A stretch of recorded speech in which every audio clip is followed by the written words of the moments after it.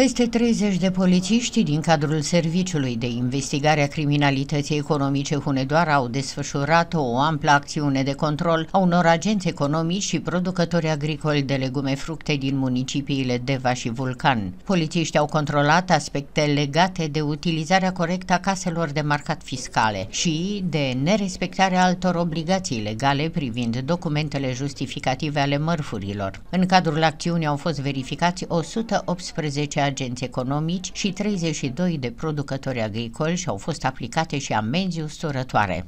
Polițiștii Serviciului pentru Investigarea Criminalității Economice din cadrul Inspectoratului Județean de Poliție Hunedoara au continuat activitățile de control a societăților comerciale atât în municipiul Deva cât și pe raza municipiului Vulcan. Au fost vizați 150 de producători agricoli, dar și reprezentanți ai unor societăți comerciale. Din păcate au fost constatate și nereguli, astfel că polițiștii au aplicat 16 sancțiuni contravenționale în valoare de 146.000 de lei, abaterile constând în principal în nefiscalizarea veniturilor încasate prin emiterea bonului fiscal. Totodată a fost confiscată suma de 12.257